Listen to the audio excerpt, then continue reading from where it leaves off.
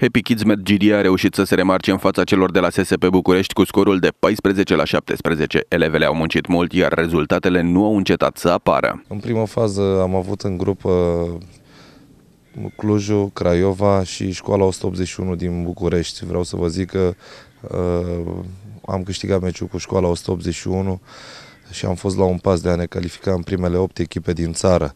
Însă soarta așa a vrut ca să ne despartă un singur gol uh, pentru clasarea în primele 8 uh, din țară. Am intrat în a doua grupă valorică pentru locurile 9-12, unde am întâlnit uh, echipa Marta Baia Mare și echipa din Petroșani.